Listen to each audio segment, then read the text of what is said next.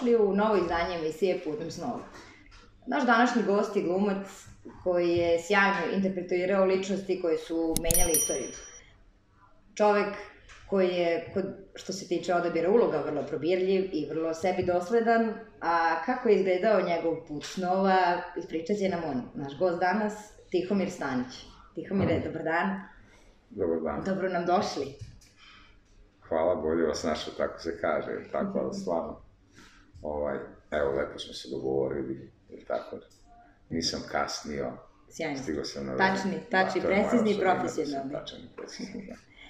Tihomire, naše uvek pre, pre puta snova uh, ide neki naš put. Sve, sva sećanja nam naravno počinju od detinjstva, pa me zanima da se vratimo u taj period. Kako izgledalo vaše odrastanje u, u divnom kraju i u velikoj porodici?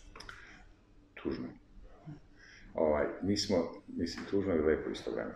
Ja sam se rodio u selu, Šeškovci se zove selo, to je selo u kome je moj otac rođen, ali on je uspeo tu u tom svom selu da postane direktor škole, znači učitelj i to je bila škola četiri razreda osnovne škole i kad sam u času kad sam ja rođen, on je tu bio učitelj, tu je bio znači ugledan u tom selu i mi smo stanovali iznad škole na spratu iznad. I to je jedan možda najlepši period. Umeđu vremenu smo, pošto on bio nemirnog duha, mi smo umeđu vremenu negde kad sam imao dve godine odselili se bili u, ne zna se zašto, u Vrbas. Mama je u stvari iz, bila iz Vrbasa, ona je iz Crne Gore kolonizirana, pa smo se vratili u to selo, ali ja taj period pamtim kao divan jer e, školska graja, deca, e, su nam dolazile u dvorište. Znači, to škola je bila moja kuća, to školsko dvorište je bilo moje dvorište, ta deca koja dolaze u školu su bili moji drugovi, neka vrsta proširene porodice. Ja sam onda sišao, pet godine sam imao kad sam sišao sa sprata u prvi razred i onda su me nakladno upisali.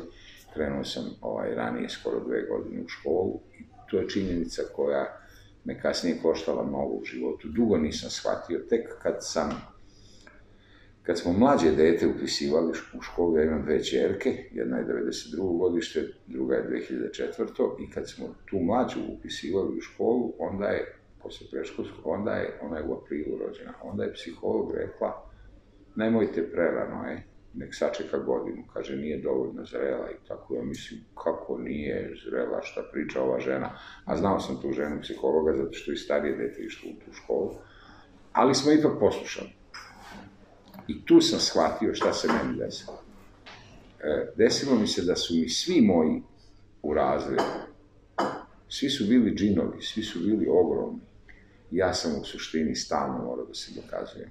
I shvatio sam da je to ta greška jedna koja kasnije, kad sam to shvatio, onda je sve bilo u redu. Ja sam zbog te činjenice, što sam dve godine mlađi bio od svih u razredu, ja sam zbog toga sve njih gledao kao velike džinovi. I oni su imali osobine, ja sam im pripisivao osobine koje oni čak nisu ni imali. I kasnije u životu, kad sam sretao ljude, ja bih uvek njima pripisivao velike osobine i uvek sam ih doživljavao razne ljude kao grandiozne, odmah u startu, pre nego što bi oni to zaslužili, mislim. Ili dokazali da jesu. I često sam bio tako ovaj, samo obmanut.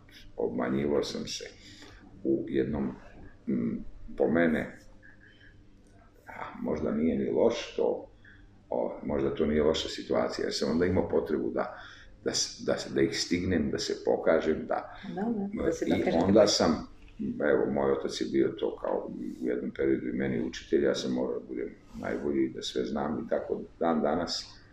Ja prvi znam, evo, decenijama u području, ja odmah znam tekst i čak se ponekad ponašam da ga ne znam, ponekad čitam, a znam ga već na pamet.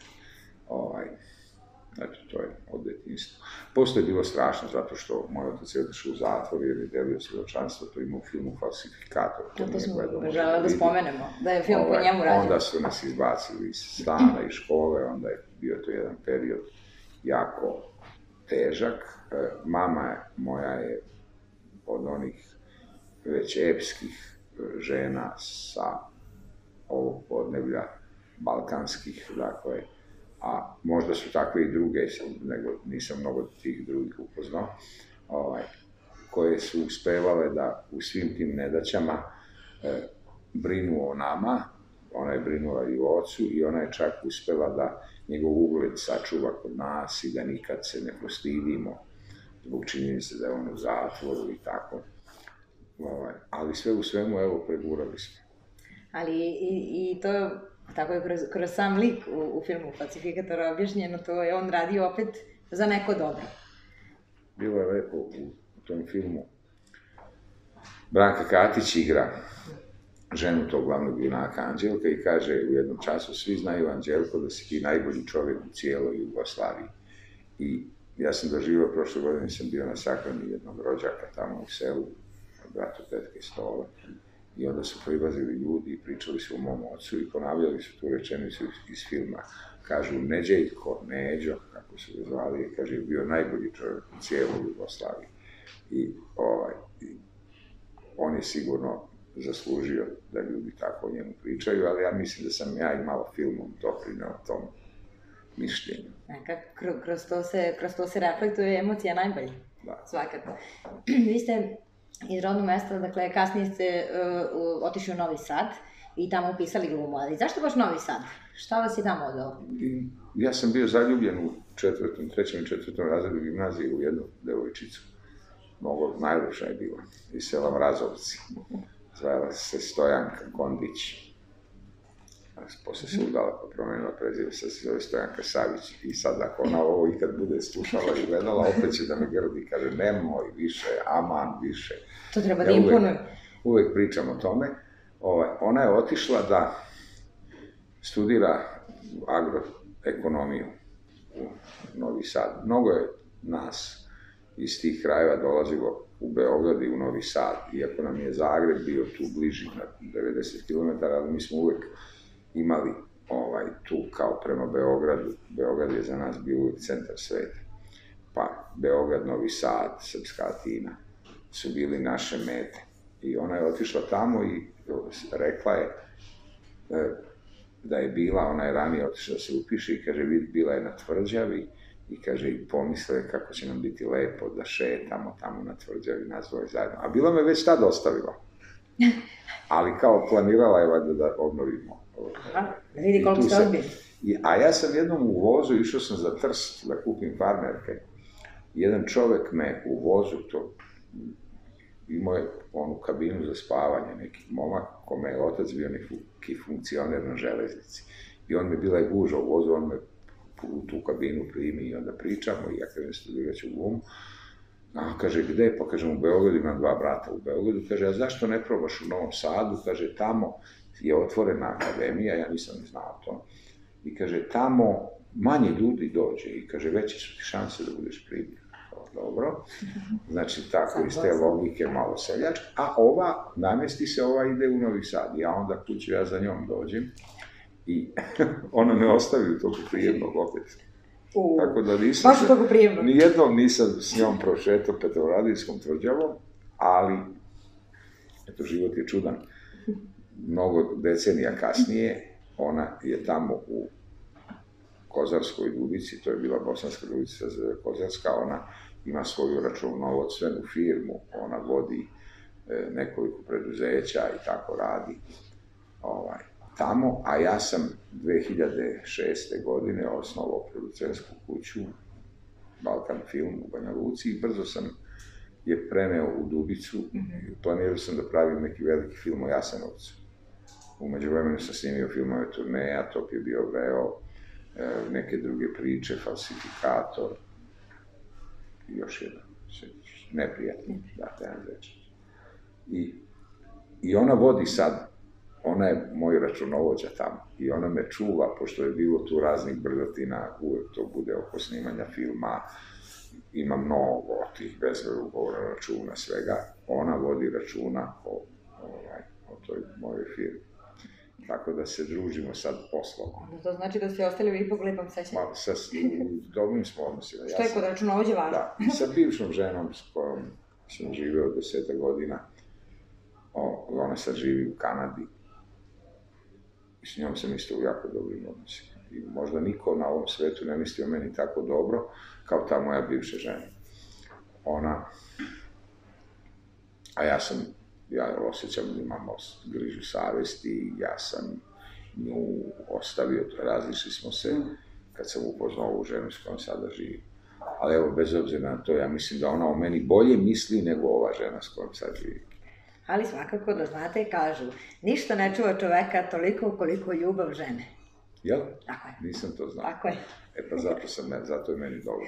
zato moram da zato, Meni zato, zato, a ću biti zdravi ja- dugovečan. Ja sad znam zašto se ja ovako Vidite, u 60. vidite kakve godina mudrosti čovek sve sazna, kao nikad nije kasno. dečak. Znači, Pa nego to, kako. To, kako, odlično. A, odigrali ste zaista veliki, veliki broj uloga. A, koja je za vas bila naj, najvažnija u, u, u, u, pravcu samospoznaje? Koja je kad ste odigrali, da ste sami sebi rekli, bravo Tihomire, sada sam svestan zašto sam ovo što jesam? Ja uvek sebi tako. Tako je. Da, ja uvek kažem da. I imao sam mnogo i promašaja i, i u svakom periodu života je poneka uloga bila bitna. Ali bukvalno. I ja imam baš, ima tih uloga na koje sam ponosan i koje će verovatno ono, i ostati tu, pogotovo na filmu. U pozorištu se zaboravi, ali sam doživeo da mi priđe čovjek posle 30 godina i priča o nekoj sceni koju sam igrao u predstavi s kojom smo gostovali. Srpsko narodno pozorište je gostovalo u Beogradskom dramskom pozorištu i čovek mi priđe, dva puta mi je taj isti čovjek prišao, i priča o toj predstavi, o toj sceni. Znači, pamti je 30 godina, iako mi znamo da je pozorište varljivost, da se zaboravi da je prolazna umetnost. I stvarno sam odigrao mnogo, imam, e, eto, dete moje, bukvalno sinoć, smo gledali jednu televizijsku dramu, malo, e, povodom smrti Tihomira Arsića, televizija Vojvodine je pustila jednu televizijsku dramu koja se zove Smrt godišnjeg doba, gde igramo zajedno. I tamo sam ja, pa smo gledali, dete moje gledalo kao, e, baš sam onako, kaže, kako je rekla, kaže, kao glistica, kao špagetica, ne znam, kao štapić, nešto, baš sam mršav i onako mlad i tako. I onda je ona gledala na, šta ima na Wikipediji, koliko sam odigrao, brojala koliko sam, pa sam odigrao u pozorištu 120 uloga ili preko 120 i na televiziji filmu isto tako, 130. Mm, to je mnogo. To je baš. to je za nekoliko karijera. Da, da. I, e, znači, nije istina ono što ste rekli u, naj, najavnoj, u najavi da sam probirljiv. Očigledno nisam. Ja sam igrao sve i svašta.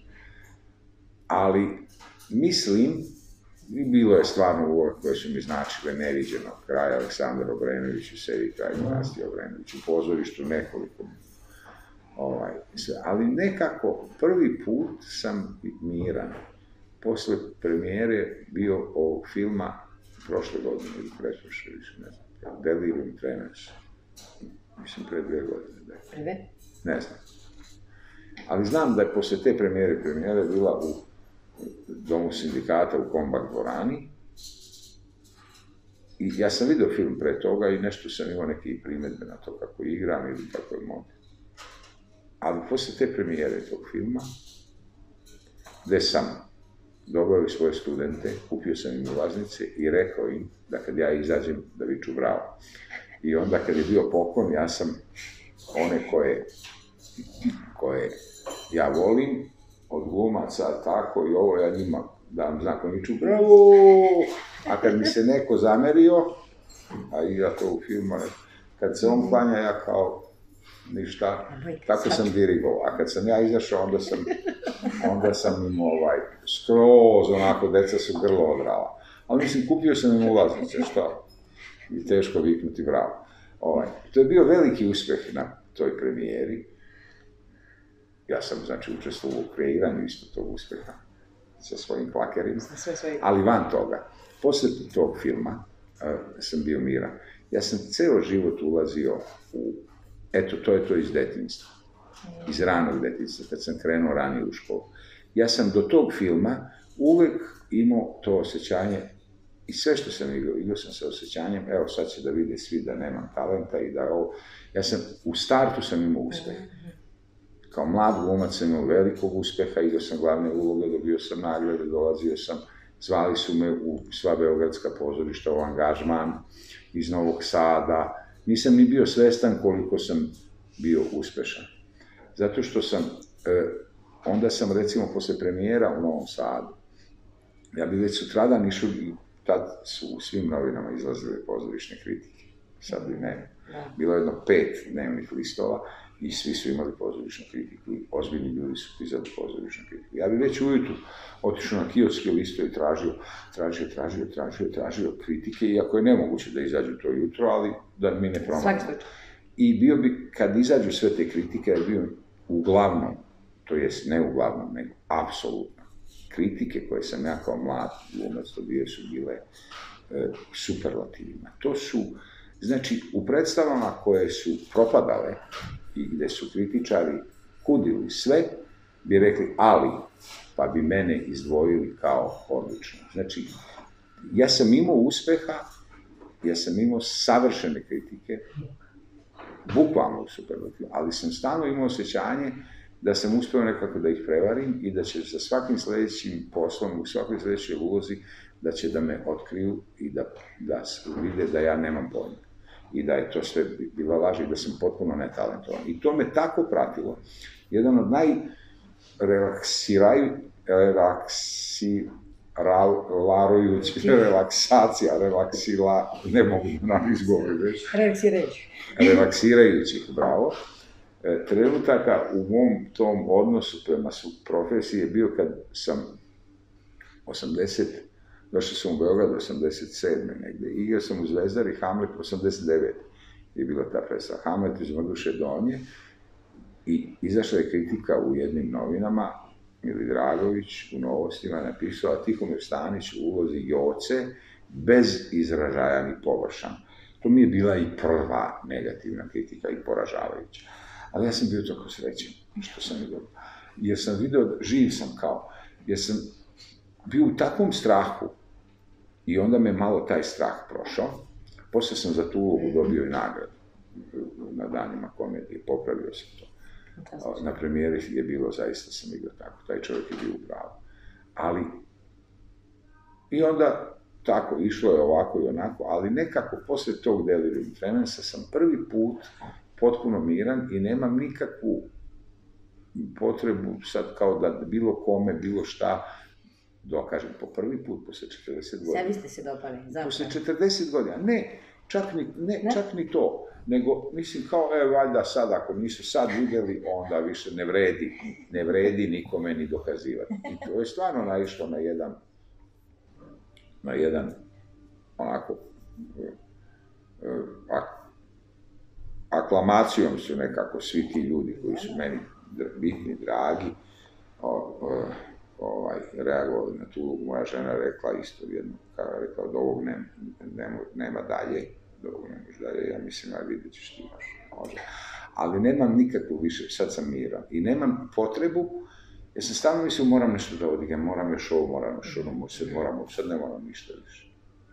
I nije, sad to je, znači, ta uloga me je nekako smirila, ali generalno, ja sam ostvario sve, sve želje svoje. Imam dve koje ću da odložim, ako Boga. Jedna je bila kad sam služio vojsku, pa su me pustili posle sedam dana, a nisam jeo sedam dana tamo, ovo, ono, onda sam mislio da idem sedam dana u opatiju, da se odmorim. To da odem sedam dana na odmor u opatiju. I to sam nekoliko puta imao zakazano i promaklo mi. I druga je, kad sam bio klinac, išli smo u, da čekamo novu godinu u Umag nekim autobusom i stanemo u motel Spačva. I tu, slučajno, tu je pauza, to je odmah čim se uđe u Hrvatsku. I tu vidim neka svoja dva profesora sa švalerkama u tom motelu. Tu oni zanoćili nešto, mi slučajno oni tu doručkuju. I mislim, Bože, ja jednom tu u tom motelu da zanoćim s nekom. I ta mi se želja isto nije ostvarila. Jednom sam hteo, nego sad ne radi srušen motel. Da li moguće? Da, Znači, nisu vas ne, sačekali? ne, ne srušen, možda se sagrade novi. Eto, to su mi dve neostvarene želje u životu. I niste Sve izgovorili. druge koje sam imao želje, sve sam Pa ostvario. vi stvarno možete da kažete za Ali sebe sve da sam stvarno ostvario. srećan I čovjek. sad neću, u opatiju bi mogao da odem na 7 dana, ali mislim, neću, bolje da nešto ostane. Jer se plašim ako sve želje ostvarim kući, Ne, onda pa je moramo, gotovo. no, onda moramo će nove stalno. Nešto. Moramo nove stalno imati. Kaže, dok god imamo posla, onda smo tu. Ali nema više nekih želja. Ali često, često vidimo, i jako nam je drago zbog toga da prenosite e, reč Iva Andrića, da li u, u svojoj publici vi uh, osetite, vidite to ljudima u očima, taj, e, tu blagodat, tačnije, uh, kako se živi u nedostatku te plemenite reči i zapravo prenosa reči kao takve? Da, ja već više 20 godina skoro govorim na Drini Ćufrija, već indevnom svoga toka reka Drina protiče. Ja volim to da govorim. To ima malo publike. To, moja publika je malobrojna. Mislim ponekad ili tako, kad nešto se desi, pa zbog televizije budem zbog nečeg popularan, tu se još iskupi ljudi. Ali obično je to 20-30 ljudi. Neće to ljudi da gledaju, ne zanima to ljude ili ne, oni koje zanima misle da je ne mogu da dođu ili tako, tako, ovaj, nisam ja nikad ali dovoljno. Uvijek dovoljno.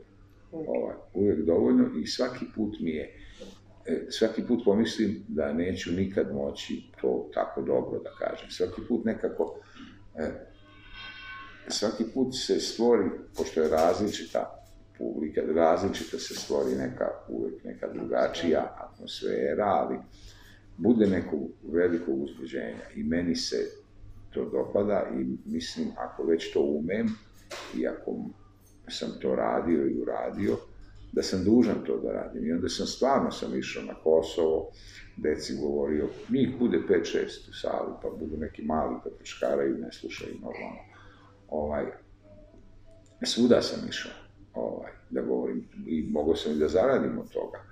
Znate, ja sam bio u, u Kanadi nekim drugim poslom ili tako, pa sam u dva grada sam išao tu da govorim, tu stvarno 25 ljudi, 25 ulaznica, ovi organizatori bude malo stid i meni malo neprijatno. Ovaj, 30 u drugom gradu, 30.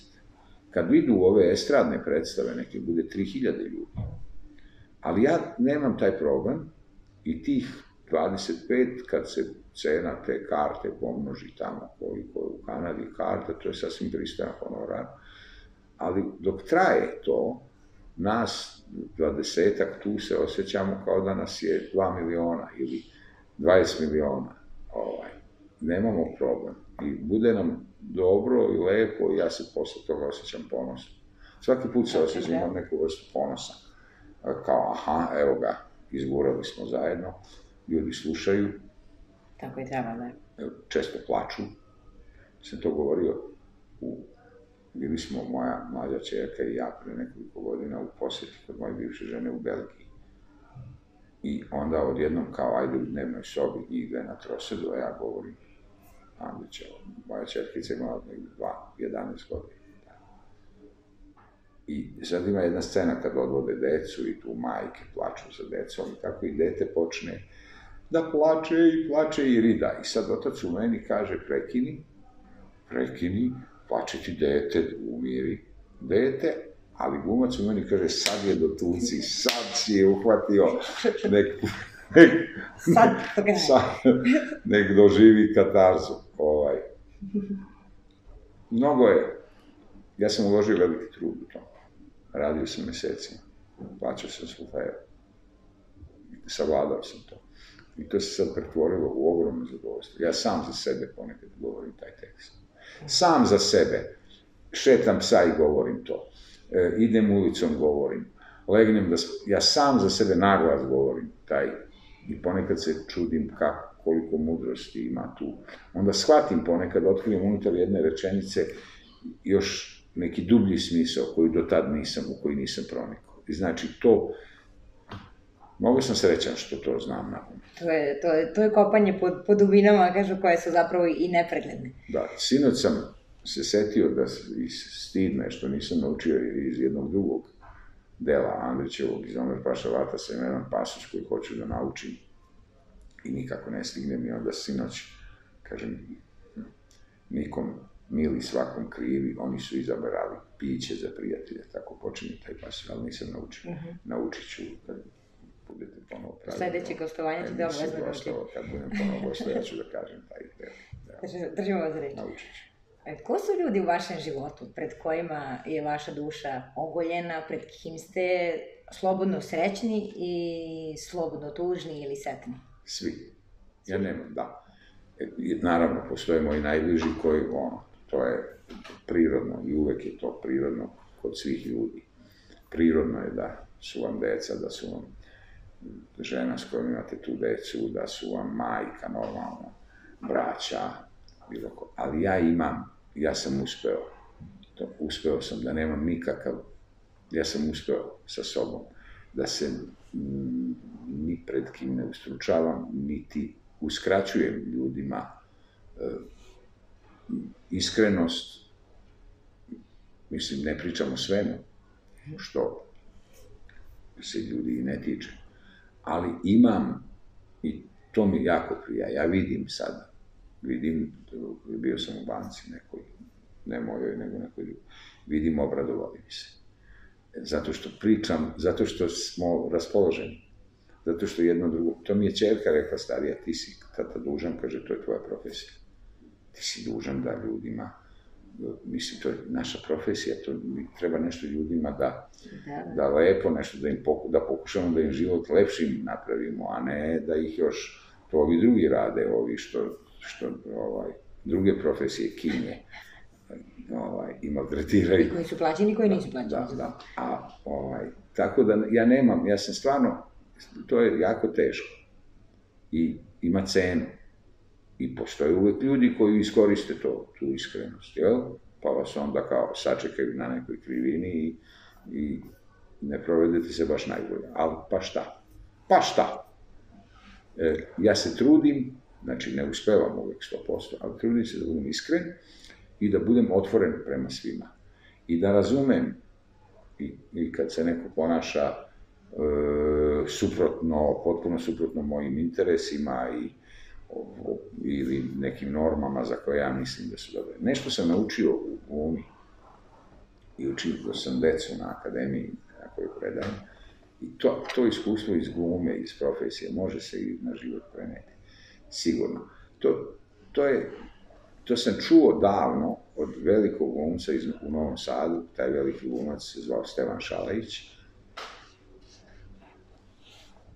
On je tvrdio da je partner uvek u pravu.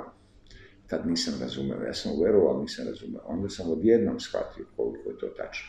Partner je uvek u pravu.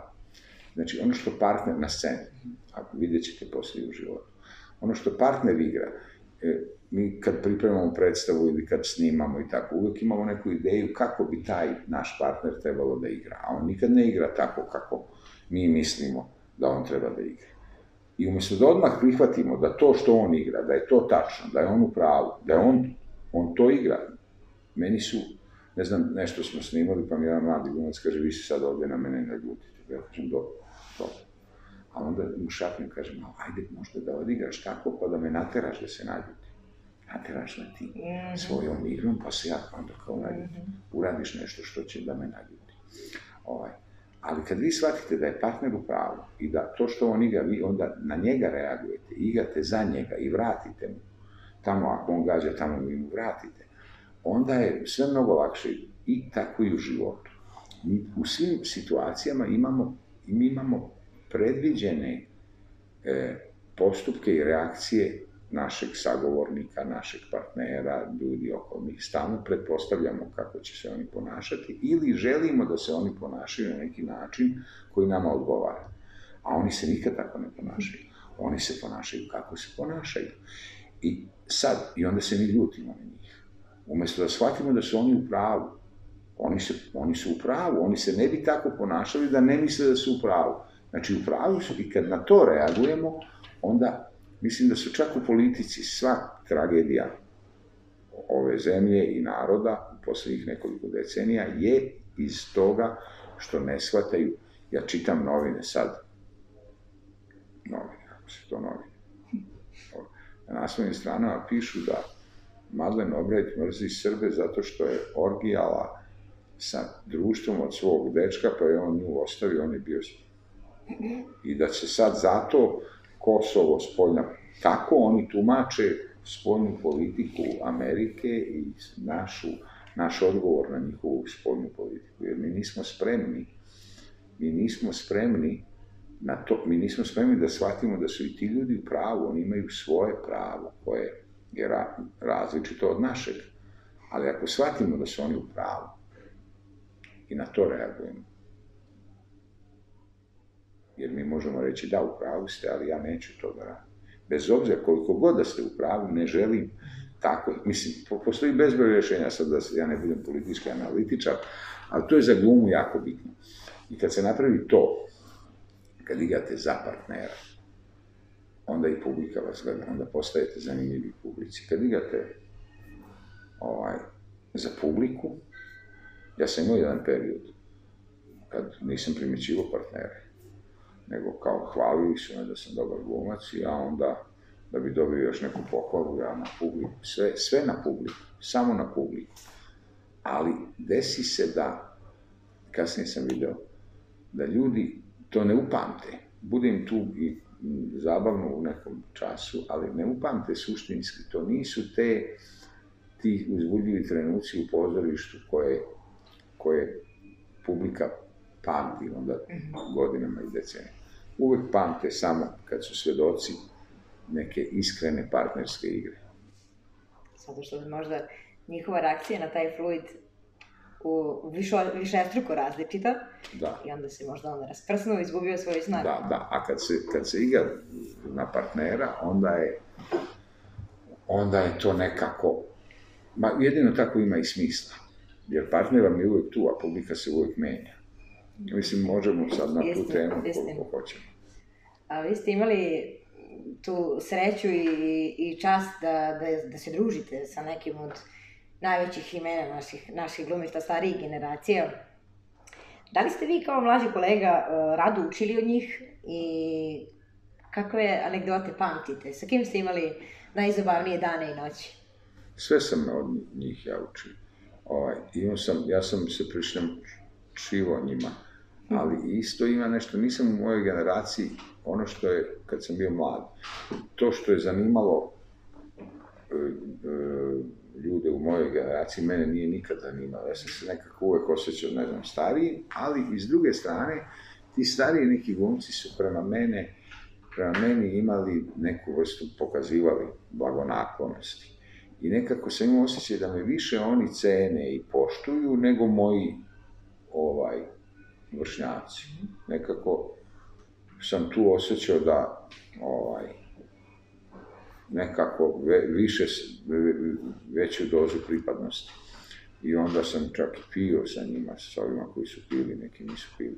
Ima bezbroj, o, bezbroj priča, ali jedna od priča koju ja, na primjer, pričam i studentima dok sam radio na toj akademiji, ovaj, je s Perom Kraljem sam radio 17. aprila 90. je bila premijera u atriumu Narodnog muzeja, razgovor sa Gojom Ive Andrića u režiji Petra Zeca. Imali smo pijanistkinju, jedno mi smo bili u frakovima i govorili smo taj tekst. Ja sam govorio taj tekst Andrića, Pera Goji, Franciska Goje. To Andrić priča kako je u jednoj kafani mu prišao Goja, koji već nije bio živ 200 godina. I na premijeri, i ta predstava završava tako što ja kažem, otišao je gotovo bez pozdrava, rekavši samo lako i prirodno, i Pera kaže doviđenja, onda kažem malo posle toga, otišao sam ja, nad Bordom je sunce i tako da, da i tu, tu klavir svira i to je kraj predstave. I na premijeri, ja kažem, otišao je gotovo bez pozdrava, rekavši samo lako i prirodno, tamo čujem do o i je e nja se i zasmejem, čak publika se zasmeje. Ja kažem, ja sam otišao i pobegnem. I dođem, ja ljut u garderobu, kažem, pero, sam klinac onako pravi. Kažem, jel to tebi, jel to tebi lako i prirodno? A on kaže, da. Da. Da, to je za njega lako i prirodno. Za njega on je veliki. I on, to je lako, njemu lako i prirodno. On, on to stvori, to postaje deo prirod, to je prirodno. Kad Pera kraj, ovo, kad ja ovako to izimitiram, ne liči mi nešto. Ali Pera kad to kaže, to, to je priroda. To je njegova priroda, to je priroda to je ta reč koja, ta, ta, taj doviđe, e, e, to je Francisco Goja, to je prirodno. I on je upravo, tad ja još nisam ovaj, shvatio tu, to pravilo da je partner uvek pravo. Tad još nisam bio to shvatio. E, I kad čovjek, to ima isto u, pozorištu, sve je odigrano, sve je viđeno, a možda i u životu. Sve je, svet postoji da mi znamo, jel, koliko hiljada godina. A, a sigurno je postojalo i nešto i pre i tako, možda postoje paralelni neki univerzum. Jedino što nikad nije, to je kao i u pozorištu, svi su igrali Hamleta, su igrali milion ljudi, stotine hiljada ljudi su igrali Hamleta. Ali ono što nikad nije bilo viđeno i što je uzbudljivo, to, je, to ste vi u toj ulozi. To si ti sad u toj ulozi. To nikad niko nije video. To je, to je ono što je novo i što je uzbudljivo i što vredi. Ajde, kako ćeš ti to? I nije važno da li je neko bolje ili lošiji, nego kako, kako, kako, kako ti. I to je onda, i kad u to poveruje čovek, onda je to ovaj, onda su ti, to, ti uzbudljivi trenuci koji se pamte i u pozorištu i na filmu i u životu, na kraju kraja. Kako ne, one, one ga svakako začinjuju, a i pomalo menjaju. Vi ste se bavili kao mladi muzikom? Jesam. Svirali ste, zašto se mene tiče, najteži instrument, najzahtevniji.